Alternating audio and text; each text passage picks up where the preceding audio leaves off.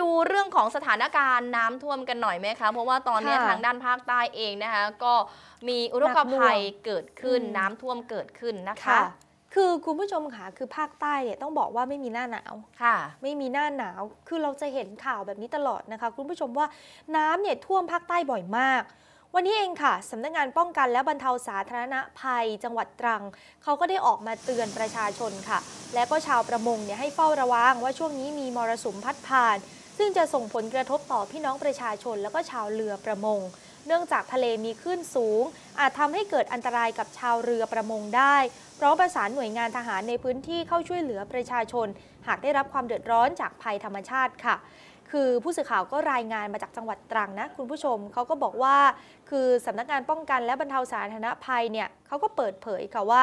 มรสุมตะวันออกเฉียงเหนือพัดปกคลุมภาคใต้ทำให้ช่วงนี้เกิดภาวะฝนตกลงมาอย่างต่อเนื่อง ในพื้นที่ภาคใต้ตอนล่างได้เกิดภาวะน้ำท่วมแล้ว ในส่วนของจังหวัดตรังนั้น ขณะนี้มีฝนตกลงมาอย่างต่อเนื่องค่ะ ทางสำนักงานป้องกันและบรรเทาสาธารณภัยจังหวัดตรัง จึงออกประกาศเตือนไปยัง 10 อำเภอของจังหวัดตรังให้เฝ้าระวังน้ำท่วมฉับพลัน และน้ำป่าไหลหลาก โดยเฉพาะพื้นที่จังหวัดที่มีพื้นที่ลาดเชิงเขา เพราะว่ามันเป็นเขาลงมาอย่างนี้ไงคุณผู้ชม ถ้าน้ำป่าเนี่ยเขาไหลลงมาเนี่ยมันก็ส่งผลว่าอาจจะท่วมบ้านเรือนของประชาชนได้ง่ายอะเนาะ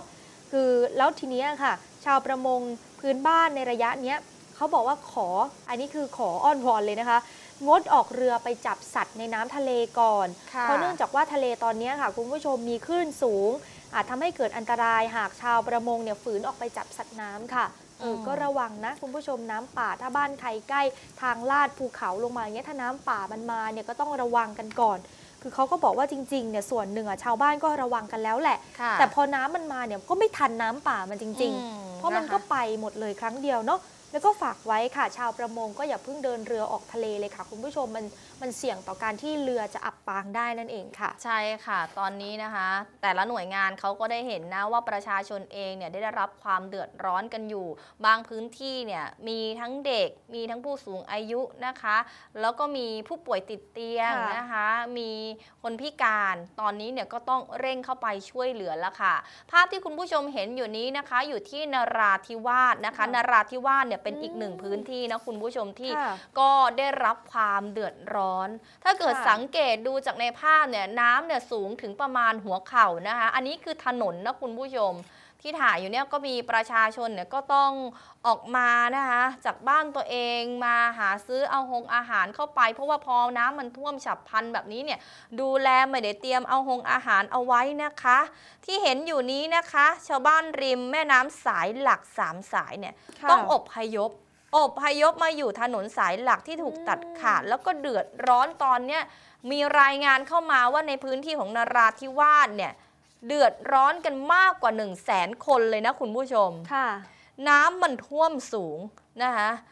น้ำมันท่วมสูงอย่างที่คุณผู้ชมเห็นแนวทางการแก้ไขเนี่ยนายอำเภอสุไหงโกลกเนี่ยนะคะท่านก็บอกว่า เดี๋ยวมีการประสานเจ้าหน้าที่โครงการส่งน้ำแล้วก็บำรุงรักษานะคะเพื่อที่จะเข้ามาติดตามสถานการณ์วางแผน การระบายน้ำที่ท่วมขังในพื้นที่ชุมชน แล้วก็มีการแจ้งเตือนประชาชนด้วย เนื่องจากว่ามวลน้ำเนี่ยมีแนวโน้มว่าเดี๋ยวจะมีเข้ามาสมทบกันอีก ก็อยากจะให้ประชาชนเนี่ยติด ตามนะคะเรื่องของสถานการณ์ น้ำท่วมอุทกภัยความเสี่ยงต่างๆ ที่จะเกิดขึ้นนี่แหละค่ะ ความคืบหน้าที่บอกว่าอัปเดตเนี่ยนะคะ คุณผู้ชมตอนนี้เนี่ยฝนที่ตกลงมา ก็ยังคงตกอย่างต่อเนื่อง แม้ว่าจะเริ่มนะคะซาซาลงบ้างแล้วนะ แต่ก็ยังคงต้องเฝ้าระวังอยู่ มีหลายจุดที่อยู่ในสภาพวิกฤต มีอำเภอระแงะนะคะ เมืองนราธิวาส แล้วก็มีแถวแถวสุไหงโกลกที่ได้เห็นภาพไปเมื่อสักครู่นี่แหละค่ะ ประชาชนที่เดือดร้อนนะคะ1 0,000อ๋อขออภัยคุณผู้ชม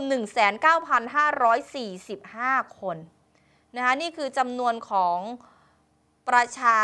ชนในพื้นที่ของนราธิวาสเนี่ยที่ได้รับความเดือดร้อน ตอนนี้เนี่ยทุกๆหน่วยงานเองนะคะ เจ้าหน้าทงเจ้าหน้าที่เนี่ยเขาเตรียมที่จะลงพื้นที่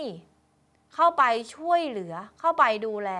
น้ำท่วมแบบนี้เนี่ยแม้หลายคนบอกคุณผู้ชมคอมเมนต์กันบอกว่า น้ำเนี่ยท่วมอยู่แล้วภาคใต้แน่นอน แต่ปีเนี้ยเนี่ยเขาก็สะท้อนกันมานะคุณผู้ชมดูจากในโซเชียลมีเดียเขาบอกว่าน้ำมันมาเร็ว ยังไม่ทันตั้งตัวเลยเนี่ยบ้านไหนที่เป็นบ้าน 2 ชั้น 3 ชั้นเนี่ยก็สามารถที่จะหลบขึ้นไปบนชั้น 2 ชั้น 3 ได้ แต่บ้านหลังไหนที่เป็นบ้านชั้นเดียวคุณผู้ชมจะสังเกตอีกนิดเดียวคือมิดหลังคานะคะ อันนี้คือในพื้นที่ของนาราธิวาสแล้วก็เดี๋ยวประมาณช่วงบ่ายๆเนี่ยใช่ไหมคะท่านนายกรัฐมนตรีท่านมีกำหนดการค่ะเดินทางมาดูสถานที่อืมน้ำท่วมในนาราธิวาสแล้วก็ไปดูในพื้นที่ของระแงะที่น้ำท่วมสูงไปให้ขวัญและกำลังใจ ให้กับพี่น้องประชาชน แล้วก็ไปดูแลให้ขวัญกำลังใจกับคนทำงานนั่นเองค่ะอืมก็น่ากลัวนะ คุณผู้ชมค่ะ เดี๋ยวเรายังอยู่นะคะในพื้นที่ของจังหวัดนาราธิวาสกันอยู่ค่ะ คุณผู้ชม ซึ่งเช้านี้นะระดับน้ำจากคลองยะกังสูงขึ้นต่อเนื่อง ส่งผลให้บ้านเรือนของประชาชน ตามแนวคลองยะกังเขตเทศบาลเมืองนราธิวาสถูกน้ำท่วมขังทั้งหมดค่ะ โดยระดับน้ำบนถนนเนี่ยสูงถึง 50-80 เซนติเมตรรถเล็กนะคะไม่สามารถสัญจรไปมาได้เนี่ยต้องเดินอย่างนี้ยคุณผู้ชมโดยเหตุที่เกิดขึ้นครั้งนี้ถือเป็นเหตุครั้งใหญ่ที่เกิดขึ้นในรอบ 50 ปีเลยค่ะ ด้านรองประธานชุมชนยะกังเนี่ยเขาก็กล่าวนะคะว่า ปีนี้หนักมากโดยเฉพาะบ้านริมคลองระดับน้ำติดหลังคาบ้านทุกหลัง ประชาชนเดือดร้อนหนัก ถึงแม้จะเตรียมตัวอยู่บ้าง แต่ก็ไม่คาดคิดค่ะ แล้วก็เตรียมตัวไม่ทันด้วย เพราะน้ำเนี่ยเริ่มมาตั้งแต่ช่วงเย็น สูงขึ้นเรื่อยๆ จนถึงช่วงกลางดึกขณะเดียวกันนะคะที่แถวระแงะเนี่ยในชุมชนยะกังเขตเทศบาลเมืองนาราธิวาสนาราธิวาสเนี่ยเขาเกิดไฟฟ้าลัดวงจรเนี่ยนะคะคุณผู้ชม เพลิงรุกไหม้บ้านเสียหายทั้งหลังคา ส่วนตัวบ้านเนื่องจากจมน้ำเนี่ยน้ำไฟเนี่ยจึงไม่รุกราม ตัวบ้านเนี่ยจมน้ำนะคะ ไฟอะมันเลยไม่ลุกลาม มันเลยไหม้แค่หลังคาค่ะ คุณผู้ชม อย่างไรก็ตามนะคะ ระดับน้ำท่วมครั้งนี้มาจากมวลน้ำที่มีมากและไม่สามารถระบายได้ทันนั่นเองค่ะ จนเอ่อล้นตริ่ง ในเทศบาลไม่เพียงแต่เพียงชุมชนยะกัง ชุมชนของณนครเนี่ยก็มีน้ำท่วมหนักบ้านเรือนเสียหายนับสิบหลังเหมือนกันค่ะ คุณผู้ชม นี่คือในพื้นที่ที่ยักษ์กังนะคุณผู้ชมคะค่ะทีนี้นะ เดี๋ยวไปดูกันต่อนะที่สงขลานะคุณผู้ชมค่ะที่สงขลาเนี่ยเป็นยังไงกันบ้าง สงขลาปรากฏว่าอย่างที่คุณผู้ชมเห็นนะคะ คลื่นลมแรง แน่นอนว่าพอคลื่นลมแรงเนี่ยนะคะธงแดงก็ต้องปักออกมาอย่างนี้แหละค่ะค่ะ เพื่อที่จะแจ้งเตือนนะคะ ไม่ว่าจะเป็นประชาชนในพื้นที่ หรือว่านักท่องเที่ยวนะคุณผู้ชม บางคนก็ชอบเที่ยวในฤดูมรสุมแบบนี้ก็ต้องบอกก็ต้องเตือนกันค่ะนะคะ เพื่อที่จะป้องกันไม่ให้เกิดความสูญเสียต่างๆ ที่เห็นอยู่นี้ค่ะคลื่นลมในอ่าวไทยนะคะ มีกำลังแรงพัดเข้าสู่ชายหาดอย่างต่อเนื่องนะคะ โดยเฉพาะหาดสมิลา นะคะหาดชลาทัศน์ตรงนี้เนี่ยอยู่ในอำเภอเมืองสงขลาเลยนะ ทางเทศบาลเองเนี่ยก็ได้มีการปักธงแดงเป็นสัญลักษณ์เตือนภัย ห้ามประชาชนนักท่องเที่ยวลงเล่นน้ำเด็ดขาด ในขณะเดียวกันนะคะก็มีการแจ้งเตือนปักธงแดงเอาไว้ทั้งหมด 6อำเภอเลยละค่ะนะคะเรือเล็กเองก็ต้องงดออกจากฝั่งเรือใหญ่เองช่วงนี้ก็ต้องงดนะคะ ป้องกันการอับปางในพื้นที่ทะลงทะเล อย่างที่เรารายงานไปเมื่อ2อสวันที่ผ่านมา หรือติดตามหน้าโซเชียลมีเดียนะคะในออนไลน์ของเครือมติชนก็จะเห็นว่ามีอุบัติเหตุอุบัติภัยที่เกิดขึ้นทางน้ำนะคะ เพราะว่าช่วงนี้เนี่ยมรสุมเข้าอย่างที่หลาย ๆ คนทราบกันดี ศูนย์อุตุนิยมวิทยาภาคใต้นะคะฝั่งตะวันออกสงขลาเนี่ยก็เตือนแล้วค่ะว่าคลื่นลมบริเวณอ่าวไทยเนี่ยยังคงมีกำลังแรงโดยทะเลก็มีคลื่นสูง 2-4 เมตร ขอให้ประชาชนที่อาศัยบริเวณชายฝั่งอ่าวไทยระมัดระวังจากคลื่นที่ซัดเข้าหาในฝั่งนะคะ แล้วก็ช่วงนี้เนี่ยชาวเรือเองก็ควรที่จะระมัดระวังในการที่จะค่ะออกไปทำประมง แล้วก็อืมขอให้งดก่อนนะ 1-2 วันนี้ ประชาค่ะสัมพันธ์ให้กับทุกๆทท่านเลยนะคะ ใครที่มีญาติพี่น้องนะคะหรือมีธุระที่จะต้องไปที่ภาคใต้ แล้วก็ไปในบริเวณที่เป็นอุทกภัยเนี่ยก็อย่าลืมนะคะคุณผู้ชม ตรวจสอบข้อมูลที่หน่วยงานภาครัฐเนี่ยเขาอัปเดตเพื่อที่จะป้องกันสิ่งต่างๆ ที่จะตามมานั่นเองค่ะอืมซึ่งวันนี้เองอะคุณผู้ชมคะคือทางนายกรัฐมนตรีแล้วก็รัฐบาลเนี่ยเขาก็ไม่ได้นิ่งนอนใจนะค่ะกับเรื่องปัญหาน้ำท่วมในภาคใต้ของประเทศไทยค่ะ คือวันนี้ค่ะโฆษกของเออต้องพูดอย่างนี้ค่ะว่าคุณไตรสุรีเนี่ย เลขานุการรัฐมนตรีว่าการกระทรวงมหาดไทย และก็เป็นโฆษกของกระทรวงมหาดไทยด้วยนะคะเขาก็ได้เปิดเผยค่ะ ว่าท่านนายกเศรษฐาทวีสินเนี่ย มีความห่วงใยพี่น้องประชาชนในภาคใต้ที่ประสบอุทกภัย โดยเฉพาะในพื้นที่จังหวัดนาราธิวาสที่หนักๆอะที่เราดูไปเมื่อกี้นะคะ ขณะนี้เกิดอุทกอุทกภัยเนี่ยในวงกว้าง พร้อมกับมอบหมายให้กระทรวงมหาดไทย ติดตามดูแล แล้วก็ช่วยเหลือประชาชน โดยคุณอนุทินชาญวีรกูล รองนายกรัฐมนตรี และรัฐมนตรีว่าการกระทรวงมหาดไทยเนี่ยก็ได้ติดตามการดำเนินงานตามข้อสั่งการของนายกอย่างใกล้ชิดเลยค่ะ และโฆษกของออกระทรวงมหาดไทยเนี่ยเขาก็ได้กล่าวต่อนะคะว่าขณะนี้ค่ะกรมป้องกันและบรรเทาสาธารณภัยเนี่ยได้รายงานสถานการณ์ณเวลา 6 โมงเช้าของวันนี้แล้วนะคุณผู้ชมว่า ผลจากฝนที่ตกหนักต่อเนื่อง ระหว่างตั้งแต่วันที่ 22 ถึง 26 ธันวาคมทำให้เกิดน้ำท่วมฉับพลัน และน้ำป่าไหลหลากใน 5 จังหวัด 24 24อำเภอ 384ตำบล มีประชาชนเนี่ยได้รับผลกระทบ 19,624 ครัวเรือน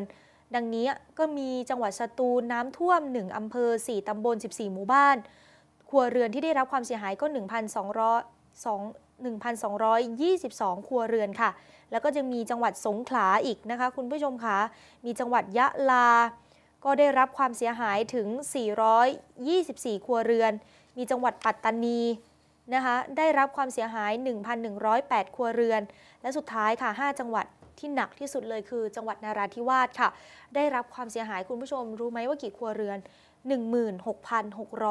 16,680 ครัวเรือนก็คือผู้เสียหายได้เป็นแสนอย่างที่พี่ก้อยได้บอกไปเมื่อกี้แล้วนะคะ ก็คือหนักจริง ๆ นะคะใช่แล้วสุดท้ายค่ะเขาก็บอกว่าหลังจากเสร็จสิ้นการประชุมคณะรัฐมนตรีเนาะท่านนายกเศรษฐาแล้วก็รัฐมนตรีที่เกี่ยวข้องพร้อมผู้บริหารค่ะ กระทรวงมหาดไทยก็จะเดินทางลงพื้นที่จังหวัดนาราธิวาสด้วยนะ ซึ่งขณะที่เกิดอุทกภัยในวงกว้างเนี่ยเพื่อติดตามให้ความช่วยเหลือพร้อมให้กำลังใจประชาชน และเจ้าหน้าที่ผู้ปฏิบัติงานในพื้นที่ต่อไปค่ะ ขณะเดียวกันนะคุณผู้ชมอย่างที่เรารายงานให้กับคุณผู้ชมได้ทราบว่าทนายกรัฐมนตรีเนี่ยจะเดินทางไปเป็นขวัญและกำลังใจให้กับประชาชนในพื้นที่นราธิวาสที่ประสบปัญหาอุทกภัยอยู่ในขณะนี้นะคะ นายกท่านก็บินไปให้กำลังใจนะคะ เรียกว่าไปซับน้ำตาชาวใต้เลยละค่ะจากความเดือดร้อนที่เกิดขึ้นนะคะ นายกเนี่ยหลังจากที่ท่านเป็นประธานคณะรัฐมนตรีในการประชุมคอรมอใช่ไหมนายกเองก็บอกว่าเนี่ยภารกิจช่วงบ่ายเนี่ยท่านก็จะไปพูดคุยนะคะในหลาย ๆเรื่องไม่ว่าจะเป็นเรื่องยาเสพติดนะคะค่ะแล้วก็เรื่องของปัญหาใหญ่ตรงนี้เนี่ยก็เป็นวาระสำคัญวาระแห่งชาติเลยนะ เดี๋ยวจะมีการไปพูดคุยเข้าร่วมประชุม เสร็จแล้วเนี่ยท่านบอกว่าท่านไปต่อเลย ไปที่นราธิวาสนราธิวาสเป็นอีกหนึ่งพื้นที่ใช่ไหมคุณผู้ชม เพราะว่าตอนนี้พื้นที่ 4 จังหวัดชายแดนภาคใต้เนี่ยมีหลายครัวเรือนที่ประสบปัญหาอุทกภัยเดือดร้อนจากภาวะน้ำท่วมฉับพลัน แล้วก็มีเรื่องของร่องความกดอากาศต่ำที่พัดผ่านเข้ามาในพื้นที่ด้วย ตรงนี้เนี่ยยิ่งทวีคูณความรุนแรงความเสียหายเกี่ยวกับอุทกภัย ท่านบอกว่าท่านรับทราบ แล้วนะสถานการณ์เนี่ยว่าแม้ว่าจะเริ่มคลี่คลายลงปริมาณน้ำเนี่ยก็สามารถที่จะระบายลงทะเลไปได้ แต่ก็มีความเสียหายที่เกิดขึ้นอยู่ ก็เลยถือโอกาสเนี่ยไปพบปะพูดคุยกับประชาชนในพื้นที่ แล้วก็ให้กำลังใจกับเจ้าหน้าที่ที่ไปช่วยเหลือ นายกบอกว่าเดี๋ยวเสร็จภารกิจจากตรงนี้นะจากนาราธิวาสเนี่ยเดี๋ยวไปภูเก็ตต่อนะคะค่ะประมาณ6โมงเย็นไปรับประทานอาหารร่วมกับนายกรัฐมนตรีมาเลเซีย นะคะซึ่งก็จะเดินทางมาที่ภูเก็ต นายกก็เลยจังหวะนี้แหละไปเยี่ยมประชาชนในพื้นที่นราธิวาสค่ะท่านก็เลยถือโอกาสนะคะไปพบปะกับนายกรัฐมนตรีของมาเลเซียต่อนั่นเองนะคะ เพราะว่าก็มีหลายวาระที่จะต้องมีการพูดคุยกันนะค่ะคุณผู้ชม ไม่ว่าจะเป็นการค้าชายแดนนะคะ เพราะว่าเป็นพื้นที่ติดกัน เดี๋ยวจะไปพูดคุยเกี่ยวกับเรื่องของสะพานข้ามแม่น้ำสุไหงโกลกด้วยนะคะ ซึ่งตอนนี้เนี่ยก็มีการทำค่ะ EIA กันอยู่รวมถึงเรื่องของการท่องเที่ยวนะคะช่วงไฮซีซั่นนะคะแล้วก็หารือในเรื่องต่างๆ แน่นอนละค่ะว่าก็เป็นผลดีทั้งฝั่งมาเลเซียเอง แล้วก็ฝั่งประเทศไทยของเราเอง เอาเป็นว่าวันนี้ภารกิจท่านนายกแน่นเอียดเลยนะคะ อย่างที่ผู้สื่อข่าวพูดจริง ๆ นะ พี่ก้อยบอกว่าภูเก็ตก็แค่ปักซอยค่ะ บินบ่อยๆใช่ไหมค่ะใช่ค่ะนะคะอ่านี่คือภารกิจของท่านนายกรัฐมนตรีแล้วก็ค่ะอีกหลากหลายเรื่องนะคะ ดูคลิปจบแล้วอย่าลืมกดไลค์กดแชร์ กด Subscribe กดกระดิ่ง สมัครสมาชิกเป็นกำลังใจให้พวกเราด้วยนะคะ